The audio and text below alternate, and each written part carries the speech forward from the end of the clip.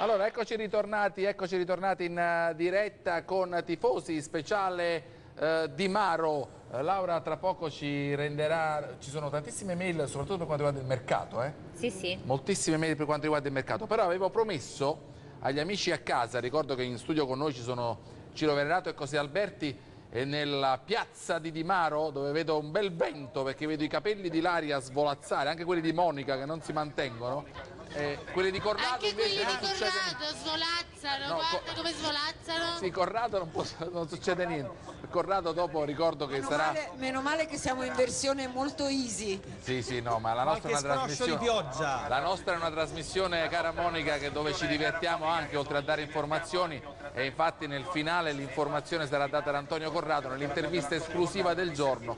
Ripeto, o a Formisano o a Caiecon ci sarà l'inviato Antonio Corrado al teatro di Di Maro. Quindi come ogni sera ci sarà la nostra Sì, intervista. sì.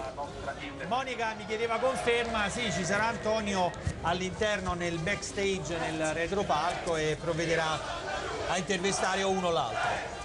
No, no, non ti sentivo. No, io vorrei. Gianluca, Sì. io vorrei un attimo eh, ritornare con Pepe Ferrario sulla eh, diciamo notizia, non, non definiamo la bomba di questo interessamento, di questo pur parler Napoli con la Juventus per Vucinic, sempre eh, Pepe confermi no, nel, eh, nello scambio di informazioni tra i due club sulla, sulla Dire che, no? dire che è uscito il nome di Vucinic in un colloquio non significa dire che Vucinic arriverà al, al Napoli. Però, visto che il primo nome che era uscito, ti posso dire che lunedì, subito dopo pranzo, c'era stata una telefonata fatta tra De Laurentiis e Marotta e il nome che era uscito era quello di Matri. È stato riportato anche il nome di, di Quagliarella, ma eh, mi dicono che il Presidente assolutamente non intende parlare di Quagliarella. Oggi, in un nuovo contatto, anche perché eh, la Juve insiste su Zuniga e Zuniga vuole la Juve, questo mi è stato riferito, si è parlato anche di Vucinic. Non andrei oltre troppo, però è uscito anche questo nome, lo ribadisco. Bigon nel frattempo è a Di Maro, eh Gianluca? Ah, è tornato? È tornato? Volevo, Sì. darvi, volevo dargli gli aggiornamenti sì, su Higuain, così andiamo poi adesso nello specifico sul calcio mercato per quelle che possono essere le ultime mosse eh, del Napoli per cercare di capire qualche cosa in più perché insomma questi rebus, questi punti interrogativi non vorrei che aumentassero in questa rosa del Napoli. Teniamo il punto interrogativo del portiere, il punto interrogativo dell'attaccante, adesso anche quello del secondo difensore. Insomma, Higuain ci sta provando? Il Napoli ci sta assolutamente provando per Damiao e per Higuain, sta giocando su due tavoli attraverso i due rispettivi emissari. Quindi il Napoli non si è rassegnato a perdere Higuain nonostante il pressing forte dell'Arsenal. Al momento questa è la situazione. L'Arsenal ha un accordo economico con il calciatore e con la sua famiglia che rappresenta il suo entourage sulla base di 6 milioni e mezzo Ah, roba. bonus all'anno rispetto ai 4,4 per essere precisi che percepisce al Real Madrid bonus esclusi. Il Napoli invece è la società che rispetto all'Arsenal, perché al momento si parla molto del Chelsea, ma il Chelsea offerte ufficiali ad, ad, ad Horas al Real Madrid non è ancora presentate, e l'Arsenal invece ha offerto molto meno del Napoli. Il Napoli ha fatto un'offerta ufficiale documentata dal sottoscritto in tempo reale in diretta alla Domenica Sportiva attraverso l'agente FIFA Bozzo di 30 milioni più bonus e questa è una notizia che ti certifico al mille per mille perché anche il Napoli mi conferma questa, questa cifra.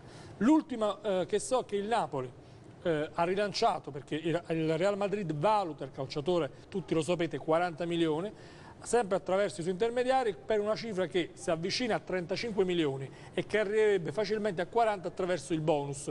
Come eh, sarebbero distribuiti questi bonus? Credo attraverso, non so, un premio Champions. Quindi se il Napoli raggiunge la qualificazione Cioè, piglia scatta 3 il milioni, se Higuain supera i 10 gol ne pigli in altro. Il problema ora è convincere il calciatore, perché col calciatore ci sono due scogli da superare.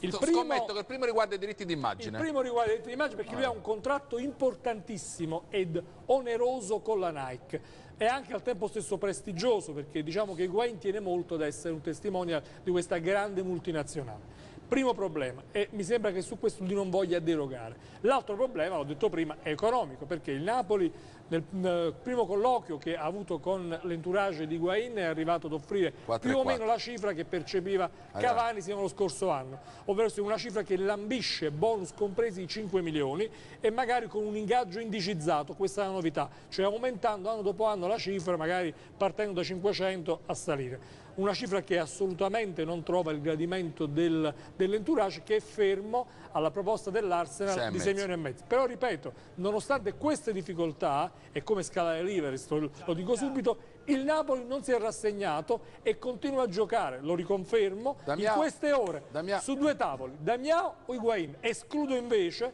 perché è uscita anche questa notizia, la escludo, che possono arrivare entrambi, cioè se arriva Damiao non arriva Uno Higuain, se arriva Uno Higuain non arriva Damiao. Sto per dare la linea a Di Maro, però faccio un passaggio tecnico ovviamente anche su José Alberti. volevo- Un, un attimo Massimo, faccio- voglio completare il il passaggio tecnico con José Alberti su Higuain, ovviamente sull'argentino Higuain, se potrebbe essere un giocatore secondo te da Benitez. Giocatore eccezionale, sicuramente, giocatore che eh, potrebbe veramente fare al caso del Napoli, ma in senso assoluto. Niente, Punti su Higuain tu. punto su Damiao. anche se sono quasi certo che non verrà. Neanche Higuain. Neanche Eh, Higuain. Mamma mia, ma com'è possibile? Neanche Higuain. Massimo, Allora, eh, Gianluca, volevo inserirmi innanzitutto per dire che siamo riusciti eh, in un'ora e passa di trasmissione a non nominare mai Ibrahimovic.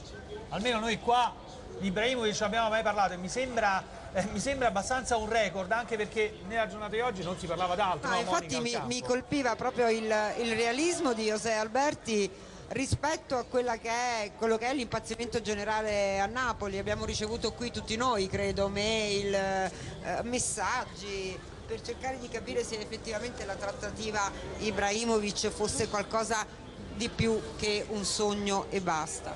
Ma secondo te Secondo me in questo momento è un Fattibile? sogno e è basta. un sogno e basta? Pepe? Eh, ci andiamo poco lontano, insomma, anche secondo me. Una bella suggestione. Io invece penso che sia un eh, sogno ad occhi aperti, per cui ci andrei veramente cauto, anche perché mi risulta che eh, De Laurentiis abbia chiesto anche un contributo alla Macron per, eh, per far sì che eh, Ibrahimovic possa poi approdare a Napoli, perché non dimentichiamoci anche per eh, lo sponsor tecnico avere un testimonial come Ibrahimovic sarebbe una cosa tutt'altro che rilevante.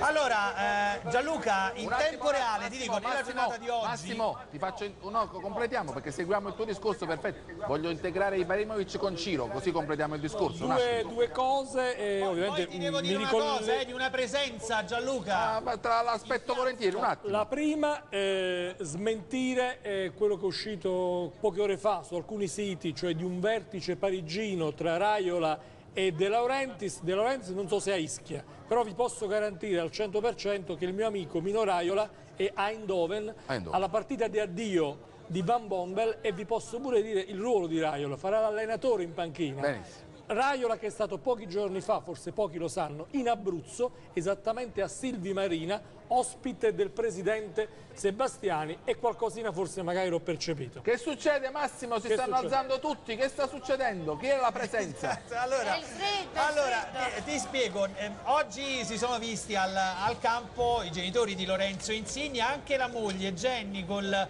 col bimbo e da qualche minuto è arrivato a Di Maro anche un amico di Canale 34, uno degli agenti eh, di Lorenzo che è Antonio Ottagliano, adesso sia eh, Antonio Corrado che Monica Scozzafava stanno cercando così di coinvolgerlo per, questa, eh, per, per la nostra trasmissione. T- Tra pochi minuti ti saprò dare Benissimo, degli aggiornamenti, torno- ecco torno che da spunta Ciro. anche una sedia.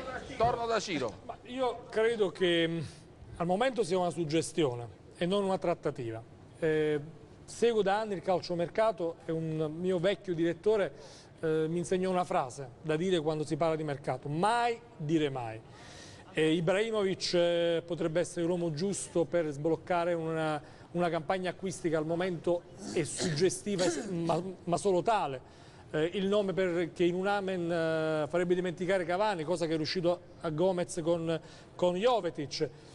E quindi è vero che Ibrahimovic vuole andare via da Parigi, è vero che Raiola l'ha offerto a mezzo mondo, l'ha offerto al City, l'ha offerto al Madrid, però poi devo ricordare che il signor Ibrahimovic percepisce 12 milioni di stipendio, che lo puoi spalmare quando vuoi, ma sotto una soglia non va e non mi risulta che né Raiola né Ibrahimovic abbiano mai lasciato qualcosa, anzi tutti i contratti che ha fatto Raiola con Ibra sono sempre stati migliorativi Ah, e peggiorativi. E devo dirti che credo che mh, anche Benitez e lo stesso Napoli in questo momento siano concentrati su Damiao E e, su in Higuain, anche perché fa un po' paura l'impatto che Ibra potrebbe avere eh, sullo Eh, spogliatoio. eh, beh, come, come no? Poi abbiamo due email mentre sistemiamo l'ospite. Sarebbe una bomba atomica come è stato all'epoca eh, l'acquisto di Maradona, nessuno ci credeva, nessuno poi eh, ci invece- pensava, io mi ricordo perché avevo partecipato come no?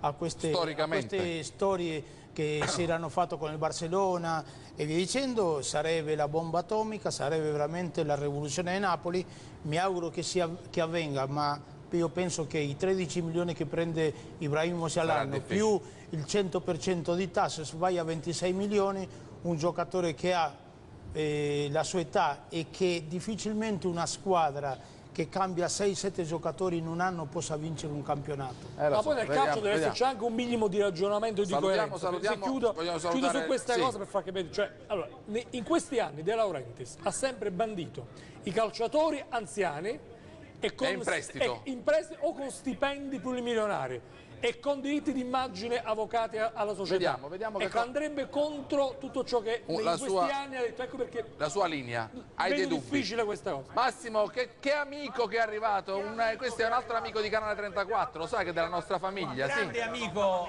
nostro Antonio Taiano. Ciao Buonasera, Antonio. buonasera, ciao a tutti. Ben trovato, il suo è un ritorno a Di Maro, c'è stato per quasi tutto il periodo l'anno scorso, è arrivato oggi, eh, come sta Lorenzo? Sappiamo bene, ieri abbiamo visto il formissimo. Credo sono notizie siete più voi che io sono arrivato, erano intorno alle 20, quindi l'ho appena salutato e tutto qui. Ne approfittiamo Sapete di- più voi, sapete più voi che io. Ti chiediamo prima di coinvolgerti nelle nostre discussioni di mercato, ti chiediamo anche di Roberto, come sta, che fa? Roberto, per quanto riguarda quell'incidente di percorso, vabbè, in fase di recupero, oramai ha quasi del tutto recuperato. Per quanto riguarda il suo futuro, oramai Perugia sembra la sede, la sede definitiva insomma, per l'anno prossimo, in quanto è stato fortemente richiesto dall'allenatore, quindi entra a pieno titolo nel progetto del del Perugia Calcio che ha un progetto ambizioso, l'allenatore ha-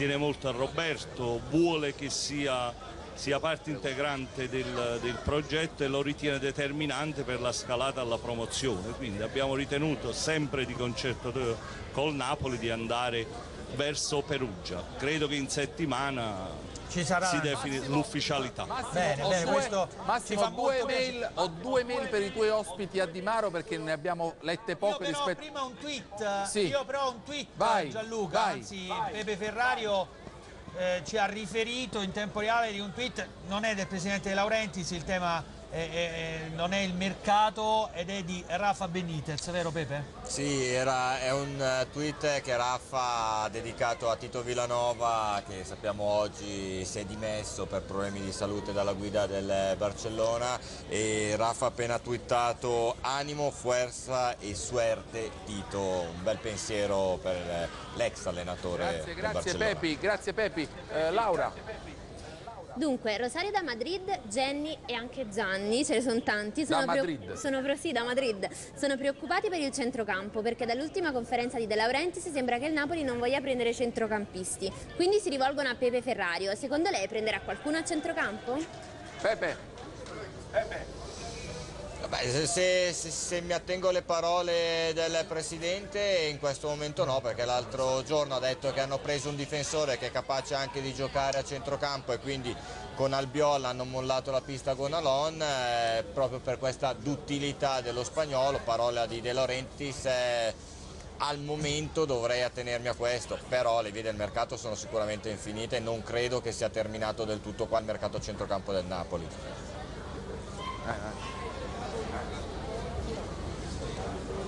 Portiere, all'attaccante, all'attaccante di e scorta al difensore. e al difensore. Centrocampo Da- però non escludo che da qui al 2 settembre possa arrivare un centrocampista, come già dissi l'altra Eh. volta, non è una priorità però in questo E momento. anche perché a, a Benitez piace anche l'idea Amsic, così il posto per Cagliaconcio è sicuro. Laura? Ce n'è un'altra per Monica Scozzafava. Ma perché non si parla di Osvaldo che dalla Roma andrà via? Ah, mi piace Osvaldo, Osvaldo, perché non ci prendiamo Osvaldo? Ah, non è vero che non si parla di, di Osvaldo, Osvaldo è un po' come Damiao, il Napoli lo tratta già da un anno, al- piaceva, anche, piaceva anche a Mazzarri e credo piaccia anche a, a Benitez.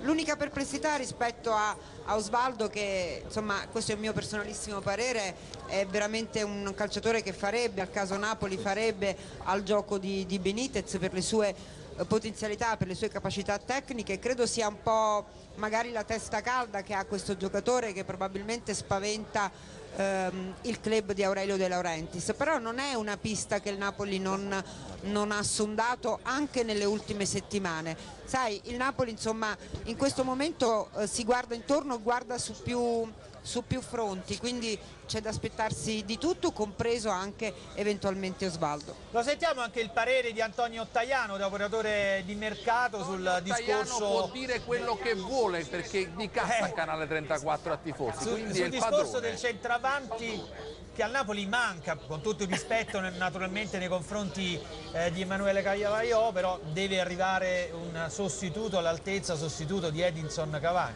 Ma io credo arriverà, dobbiamo solo dare il tempo a Bigoni e al Presidente di completare... Bisogna dirle prima quale cose, Antonio, sbilanciati, sono aperti gli ombrelli nel frattempo No, in piazza Madonna della credo, Pace. credo che i nomi che circolano sono tutti di primissimo piano, voglio dire Diamà, Damiao, Higuain, lo stesso Osvaldo, sono tutti calciatori di, di primissimo livello. Credo che qualunque di questi arrivasse a Napoli, il Napoli riuscirebbe secondo me a sopperire alla partenza di Cavani, considerando che il gioco di, di Benitez dovrebbe essere meno eh, votato ad accentrarsi su, uh, su un singolo calciatore. Ma Benitez ha detto che Lorenzo può giocare pure a destra. Tu sei, sei d'accordo? Anche al centro, ha detto può giocare dappertutto. tu Se lo dice lui, fidiamoci. Eh, guai, guai a Ci prepariamo per il gran finale. Massimo, ci prepariamo per il gran finale, ho da ricordare un appuntamento eh, molto piacevole per tutti i napoletani, Laura? Sì, perché c'è un grandissimo appuntamento il 25 luglio alle 21 nell'incantevole cornice della mostra d'oltremare di Napoli con uno degli intramontabili della canzone italiana, Peppino Di Capri, Grande che festeggerà Peppino. il suo compleanno con un concerto indimenticabile dal titolo Buon compleanno Peppino. Quindi tantissimi auguri. A Peppino, e noi, A e noi Peppino. saremo lì, non ci potranno essere né Monica Scozzafava né Antonio Corrado né Pepi Ferrari, vi perdete il concerto di Peppino Di Capri che il 25 è l'ultima, la penultima giornata, forse Ilaria scende prima, non lo so. Va bene, ci fermiamo soltanto per l'ultima volta, poi il gran finale, eh Anna, vado? Gran finale, poi abbiamo lo stacco pubblicitario, poi il finale vediamo la grafica delle altre formazioni, come si stanno rinforzando le altre squadre e poi aspettiamo ovviamente l'irruzione al teatro eh, di eh, Antonio Corrado con Cagliecon o con Formisano sulla campagna abbonamenti, sulle maglie, insomma qualche cosa sapremo stasera, sicuramente. A tra pochissimo con Tifosi.